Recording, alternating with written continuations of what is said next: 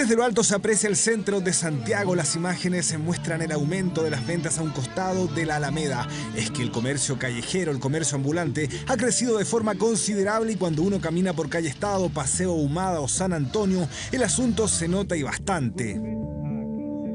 Es que no se trata de un fenómeno estacional o que se fundamente por la cercanía de las fiestas de fin de año. Según el alcalde, el asunto tiene una clara explicación.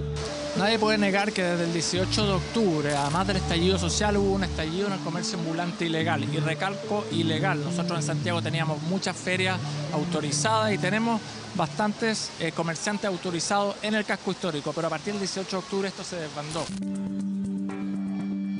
Perfumes que no se sabe bien cuál es su origen, prendas varias, calzones amarillos, artefactos electrónicos y cinturones que los ofrecen diciendo que son de cuero. En la Cámara de Comercio el fenómeno también preocupa. Y por lo tanto el daño para el comercio establecido, sobre todo el más pequeño y el que da a la calle, eh, ha sido, se ha duplicado, se ha triplicado en relación a lo que es simplemente el daño físico. Carabineros fiscaliza y es la municipalidad quien colabora. El alcalde también denuncia que en el casco histórico se venden cosas que fueron robadas. Vimos que habían productos saqueados. Ah, que se estaban comercializando en la calle. Eso es un delito de receptación. Se está arriesgando no solo una multa, sino que también una persecución penal.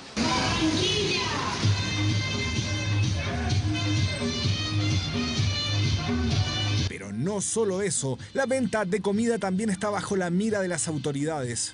Ayer en San Antonio con la Alameda habían parrillas prendidas. Entonces quiero hacer un llamado a la ciudadanía que nos colabore, no comprando en el comercio ambulante ilegal. Con los calores que están haciendo, usted comprenderá que la mayonesa, los ceviches, es un atentado a la salud. Es que a eso se refiere el alcalde de Santiago con carbón, palitos de brocheta y anticuchos. Así estaban las parrillas y la música en la esquina mencionada. Pese al explosivo aumento de las ventas, poco a poco se ha visto algo más de presencia policial, aunque aún parece insuficiente. Entendemos que, esto vuelva poco a poco a la normalidad. Hemos tomado el control y la prevención de algunos sectores. Eh, yo quiero destacar la, labor que están actuando nuestros vecinos. La comunidad se ha organizado y estamos actuando en forma conjunta. Por lo tanto, la medida que esto se vaya perfeccionando, indudablemente vamos a llegar a todas esas partes donde hay mayor afluencia de público y ojalá volvamos en esta fiesta de Navidad y Año Nuevo volver a, la normalidad y dar tranquilidad, dar seguridad a, nuestros vecinos.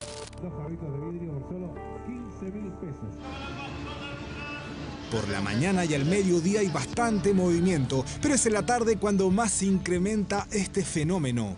Desde enero de 2017 hasta fines de agosto de este año, la comuna de Santiago decomisó 251 toneladas de alimentos sin resolución sanitaria, más de 195 mil artículos para la venta, 260.891 prendas de ropa falsificada y más de 9 mil carros utilizados en la venta de alimentos.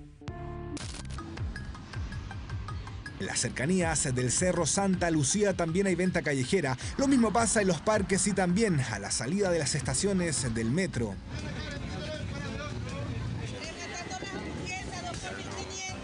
Se había avanzado bastante y ahora, bueno, hemos, vuelto a una situación peor de, lo que había antes originalmente. Estamos mucho más restringidos en, en nuestras decisiones de compra. Entonces, todo eso configura un escenario tremendamente complejo para el pequeño comercio formal. De momento las ofertas y la variedad de productos en Santiago Centro continúan.